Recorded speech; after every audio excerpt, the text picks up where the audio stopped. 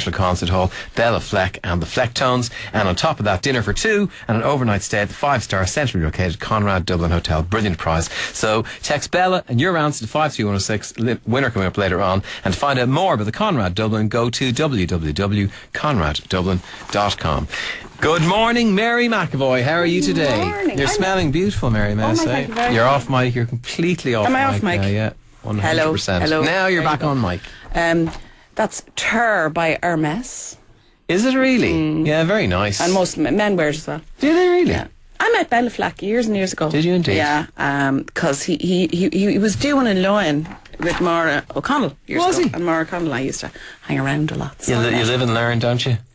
You live and learn. Very talented, isn't he? Very talented. Um, but it, it's the dobro mostly that he plays, isn't it? Banjo. Uh, maybe because he was a do- he was a very good dobro. Oh no, maybe it's the other fellow, Jerry Douglas. Yeah. Yeah, with Jerry Douglas. All right. Yeah, Okay. no. Um, you know that thing when, when you're sitting talking to somebody, and uh, I always think it's when they take the talent out. You know, you, you're sitting and they're like just a normal, everyday human being, and then they take out the talent. I know, yeah. He plays the intro, and you're going, Yeah, "Oh yeah. my god!" I know. Wow. Yeah. You know, you Yeah. don't see that often. Yeah, because he's a nice man. He's very modest sort Very of person. modest, yeah. Very modest. yeah, it's yeah. great to see your passion, though. It's going to have you for the rest of your life, isn't it? Oh yeah. 10 years up in his room learning how to play it, not properly, beyond properly. And after that, everything just falls into place. Lovely, isn't it? Lovely. I'd love that kind of direction. A message you know. for all of us the simplicity. all of the us. no, no wondering what, what am I supposed to be doing. Yeah, just just knowing this is what I do. If I play banjo. Banjo. And I'm brilliant at it. Yeah, yeah. People love me for it. Yeah, yeah. Right, we have uh, two queries for you this Yes. week, Mary. All good with you anyway? I, I, yeah, yeah, yeah, yeah, but, yeah, not great, but I'm all right. Putting like the Christmas grand. behind you? Putting the Christmas behind me. No, it's it's it's a it's a dodgy, it's a sort of dodgy time after Christmas for us Yeah. depressives. But I'm okay. I'm fine. And uh, oh yeah, can I plug something before Please we go? do. on? Uh, my friend Isobel Mahon, who used to play Michelle in Ah, Glen yeah. Yeah, she's written a. She, well, she she is a great writer, and she wrote a play which I did plug before Christmas or uh, during the theatre festival called Billy the Boat Loves Angelina, and it's back by public demand, and it's on in the new theatre in. Um, uh, Essex Street, which is at the back of the Clarence Hotel, Right. and it's starting tonight and it's on for two weeks. Okay. And it's called Billy the Boat Loves Angelina, and it's a very, very good play. So Excellent. I would just encourage. Highly people to go. recommend it. I would. I've seen it, and most people have seen it. Uh, you know that, that that have seen it, just absolutely loved it. So Um, it's funny Okay. To hear you saying us depressives there because um, I, I think uh, you know if the message of trying to talk about it more is Hmm. the message, then the Lord knows people are certainly doing that. yeah, absolutely, it's lovely great. girl in the show, um, Roisin. Oh yeah, I met her. I met her actually at the gig afterwards because Oh, I was right. I was at that um, the, the soapbox that they were doing Yeah. for uh, See Change, Yeah. and I met her after. She's a wonderful girl. She's a lovely, girl. and uh, the yeah. great, it was a great response to it. and It's been a great response to it since then as well. And people saying just to have the refreshing honesty of just saying, yeah, I do suffer from it, and uh, Yeah. you know, it keeps me in, in bed sometimes, and. I find it very hard to explain what it is. It's getting to me, you know, the fear she calls it. Oh yeah, it's And, it's it's um, humongous. And but uh, do you know something? I was thinking about it today. Um, uh, I, I I was thinking that you know the way people constantly tell you, like particularly they used to tell me because I didn't realise for years and years and years what was wrong with me. Yeah. I just thought I was a wimp. Yeah. And people tell you to toughen up, right?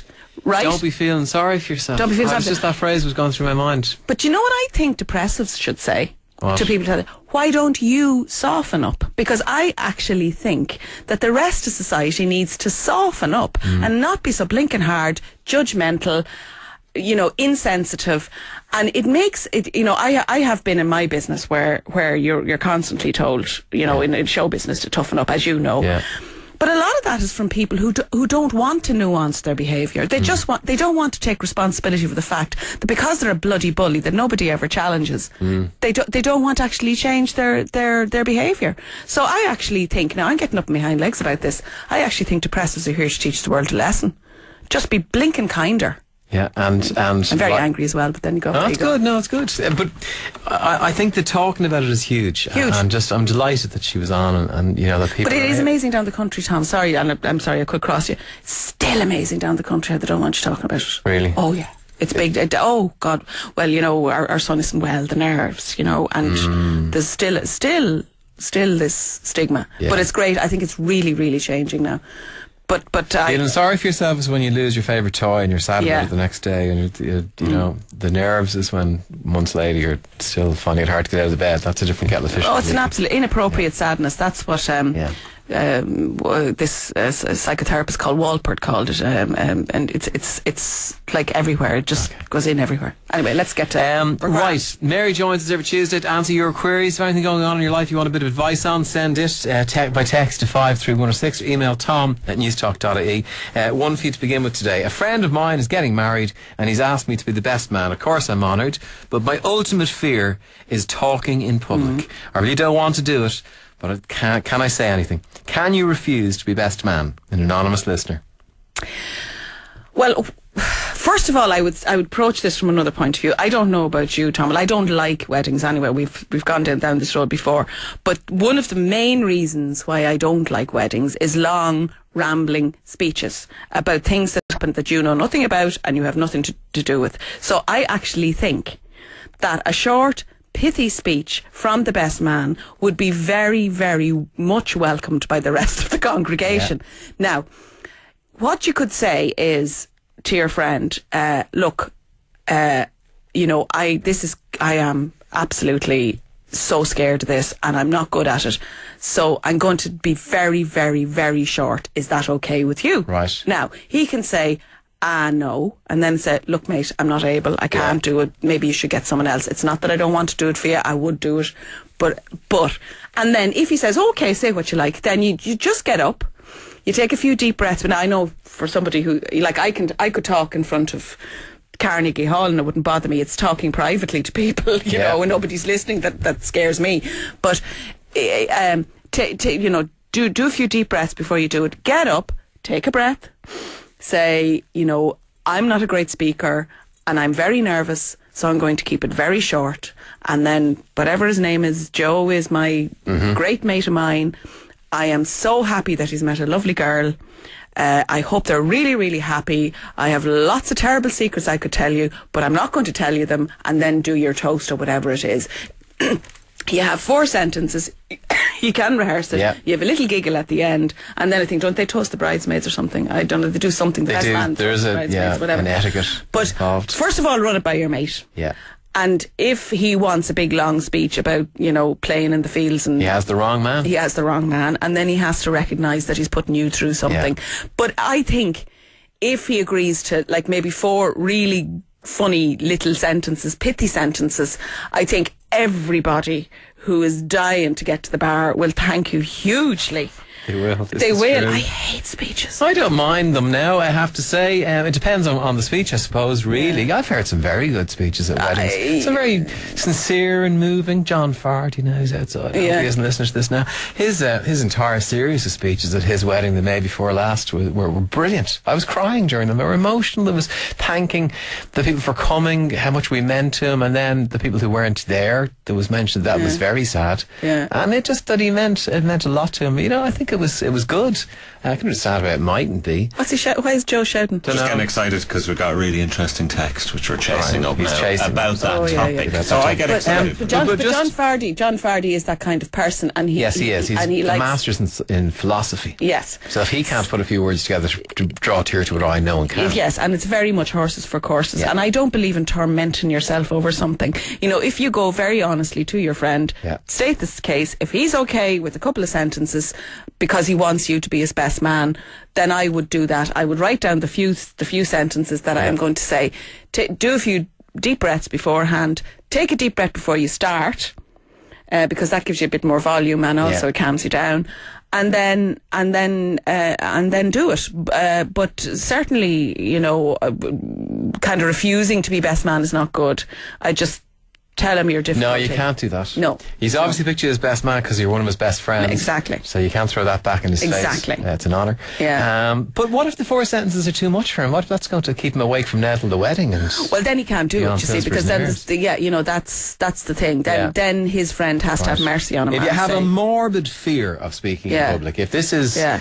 clinically diagnosed and you can get a doctor's cert to say this man can't speak, Yeah. but if you're just one of those people who's just a bit afraid, Yeah. Then I think to show your love Yeah. for this man, you may Yeah. have to just say four sentences. Yeah, exactly. And you know, Yeah. and and uh, He knows how afraid I am of speaking. Exactly, So for me to stand here shows you how much I love this man. yeah, and also say, well, and he paid me quite a lot to shut me mouth. So uh, Yes, yes. You know. I think he chose me especially because he knows I'm going to shut up now. Yeah, To the bridesmaids. Yeah, exactly. You see, those those are the kind of things, and everybody will be delighted it's short, and you've given them a laugh.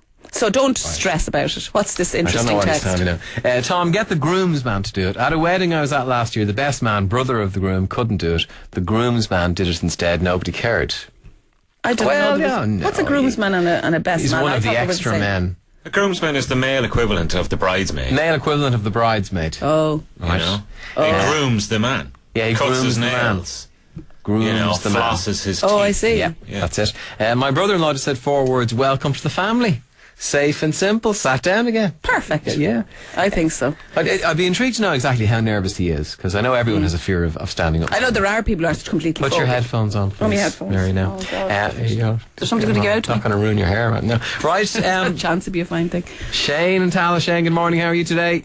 Not too bad, Tom. How are you? I'm very well. What do you what do you think this man? Do you think can he say no? Can he refuse to be the best man, or what do you think yourself? Well, I know at my wedding, um, I wanted my uh, my very best friend to be my best man, but he's not one for public speaking, and I always knew it. So he did all the church stuff, and my other best friend, he did the speaking because he's, a, All he's what he likes to speak, Okay. and it worked a treat. And nobody was nervous, nobody was head up, and it just worked an absolute treat.